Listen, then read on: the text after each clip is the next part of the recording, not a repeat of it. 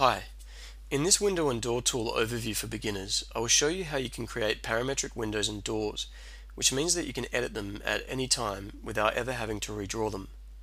Drawing and editing windows and doors are identical, so whatever I show you for a window you can do for a door, and vice versa.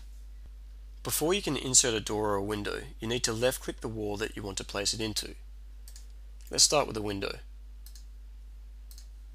In the window dialog, you can adjust the nominated header height, select the overall height of a window, choose the frame type, as well as the type of window that you wish to draw with. You can also configure the header and select materials. And once you're happy, press submit. To accurately place your windows or doors, you've got these reference marks. At the moment, it's referencing the internal frame. If you press the right arrow key on your keyboard, you can toggle through the options. Place your window, left click in the wall, and then you can either type an exact measurement followed by the enter key or just left click to place.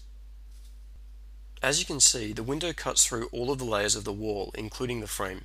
It also nominates a suggested lintel size and type. I'll now draw one slightly larger to the side.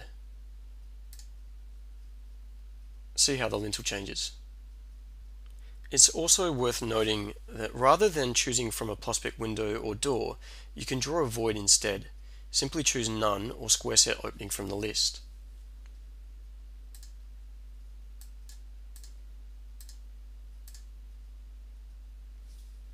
From here, you can draw or insert your custom door or window into the void.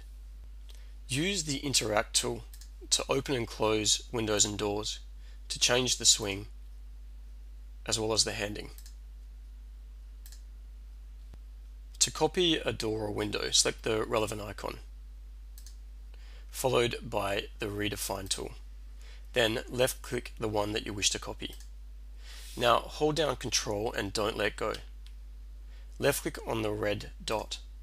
Still hold down your control and left click again somewhere.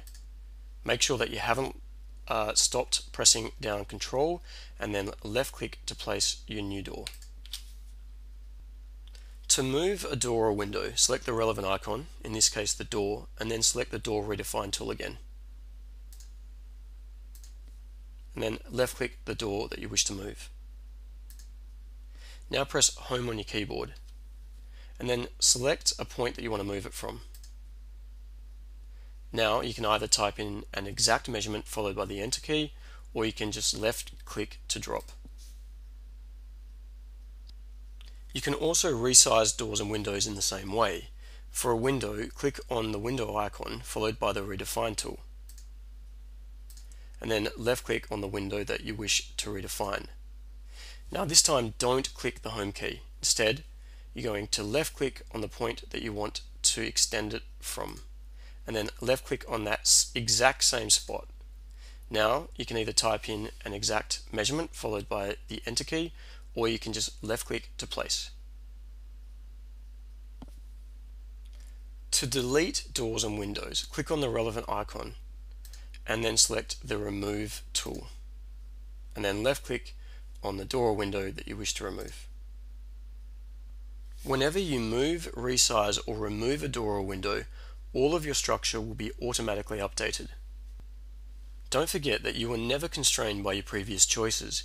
If you need to change anything, just change it, and you can even edit multiple doors and windows at once.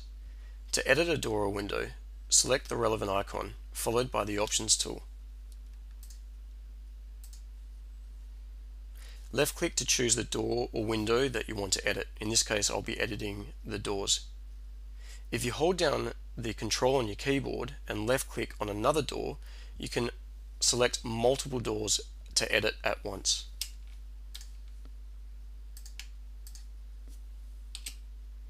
As you can see, I've decided to edit both of these doors simultaneously. If you can only see one dialog, drag the top one over.